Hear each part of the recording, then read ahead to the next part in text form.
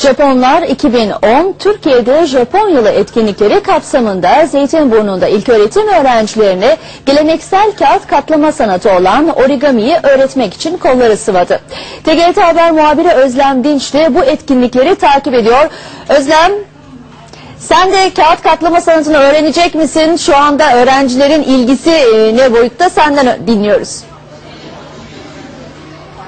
Meltem hemen söyleyelim 2010 yılı Türkiye'de Japon yılı olarak ilan edildi. Bu yüzden de Japon dostlarımız sık sık Türkiye'ye geliyorlar ve kendi kültürleriyle alakalı birçok noktada e, Türk e, konuklara e, bildiklerini öğretiyorlar. Bunlardan bir tanesi de geleneksel ka- kağıt katlama sanatı olan origami. İşte çocukların ellerinde şu anda görmüş olduğunuz e, şapkalar bir origami eseri.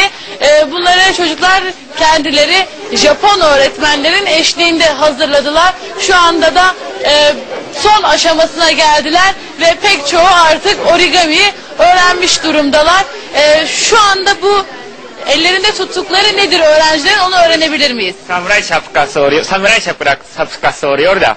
Şimdi son aşamadayız. Şimdi son aşama birlikte yapmak üzere. Şu anda samuray şapkasını tutuyor çocuklar ellerinde ve şapkanın son aşamasına gelindi. Öğrenciler nasıl başarılılar mı? Çok çok güzelmiş de. Evet buradaki öğrenciler diğer okuldaki öğrenciler daha çok başarılı geliyor. Çok iyi gidiyor. Çok iyi gitti. Evet. Başka ne öğrenecek çocuklar origami ile alakalı? Bundan sonra Japonya hakkında bilgi yarışması olarak e, Japonya'yı tanıtmak istiyoruz. Bundan sonra devam edeceğiz. Hı. Japonya hakkında bilgi alacaklar çocuklar ve bu bilgiler yarışma eşliğinde çocuklara sorulacak Ee, ve yarışmayı kazananlar da herhalde e, Japon dostlarımız tarafından ödüllendirilecek. İsterseniz hep beraber son aşamasına e, bakalım çocuklar neler yapacaklar son aşamada devam edebiliriz hocam. Şimdi bırakıyoruz bu kanatları içine tamamen sokuyoruz. Çocuklar şu anda samuray şapkasının son e, halini vermek üzereler. Gerçekten hemen hemen hepsi çok başarılı. Origami sanatını çok iyi şekilde öğrenmişler gibi görünüyor. E, tekrar edelim 2010 yılı Türkiye'de Japon yılı olarak e, ilan edildi. Bu yüzden de Japon dostlarımız sık sık Türkiye'ye İstanbul'a gelip e, burada kendi kültürlerine özgü e, geleneksel kültürlerini aktaran bilgiler veriyorlar. Özellikle ilk öğretim öğrencileri bunların, bunların başında geliyor. Şu anda da çocuklar origami sanatıyla yani geleneksel Japon kağıt katlama sanatıyla e, kendilerine samuray şapkası yaptılar. E, hemen çocuklara aslında sormak lazım. Nasıl zevkli miydi, keyifli miydi, e, zorlandınız mı bunları yaparken? Zorlanmadık çünkü öğretmenlerimiz başımızda olduğu için genellikle bize yardım ettiler. Ama bazıları zorlandığımız yerler oldu. Orada da öğretmenlerimiz bizi tamamladı. O- Origami'de şapka yapmak çok eğlenceli. Ee, öğretmenlerimize de teşekkür ediyoruz burada da. Peki bu şapkanın adını biliyor musun? Samuray şapkası. Samuray. şapkası. Evet. Keyifli miydi? Nasıldı? Eğlendin mi? Eğlendim. Çok eğlendim. Evet.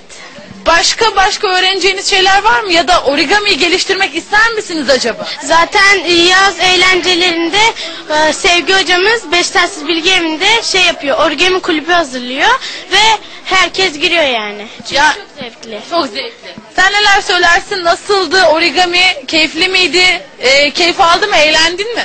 Evet herkes bu e, kağıtlardan türlü türlü çiçek ka- e, kağıtları kullanarak birçok şey yapabiliyorlar. Herkes için zevkli olabilir yani. Çok mutluyum bu.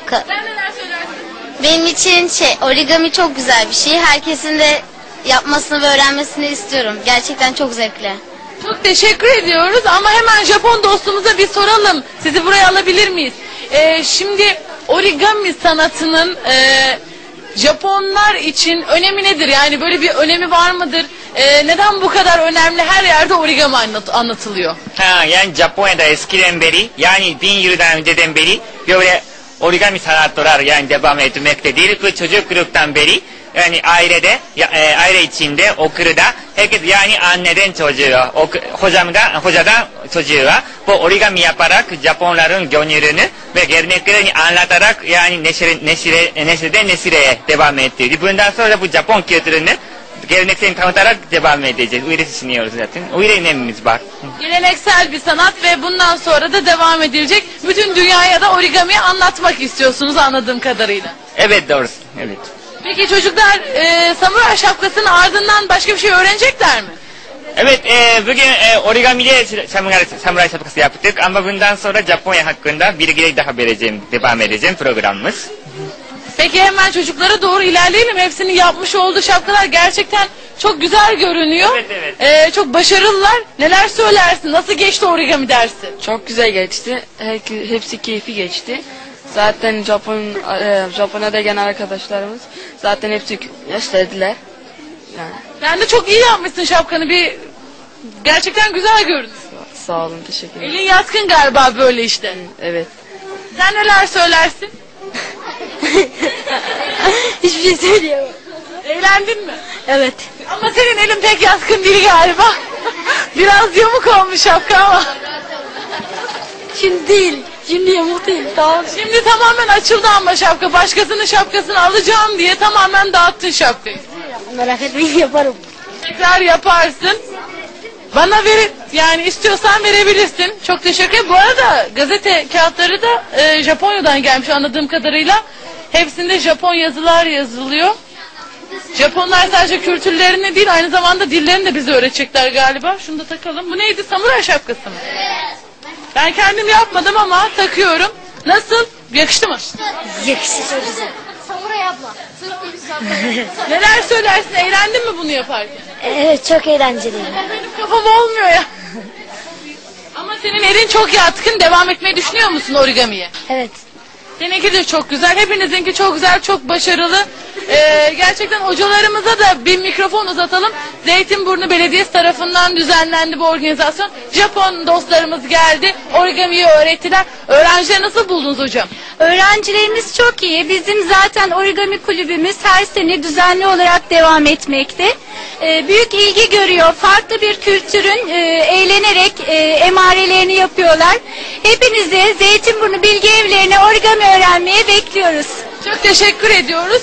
Sadece Japon dostlarımız geldi diye, diye değil aynı zamanda Zeytinburnu Belediyesi origami kurslarına aralıksız devam ediyor. Eğer sizler de origami öğrenmek istiyorsanız Zeytinburnu Belediyesi'nin bilgi evleri sizlere de açık olacak. Çocukların kafalarında görmüş olduğumuz şapkalar gerçekten oldukça güzel görünüyor. Ee, Türkler olarak bizlerin de origamiye yatkınlığımız herhalde çocukların kafasındaki şapkalardan belli oluyor. Ee, gerçekten eğlenceli. Meltem burası çok eğlenceliydi. Aslında e, yaklaşık bir saattir orga- origami dersleri devam ediyor burada. Ee, biz de onların heyecanlarını sizlere aktardık.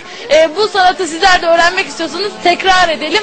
Zeytinburnu Belediyesi'nin bilgi evleri sizlere de açık diyoruz ve sözü merkeze bırakıyoruz. Teşekkürler Özlem kolay gelsin. Sayın seyirciler İzmir'de Efor Fuarcılığı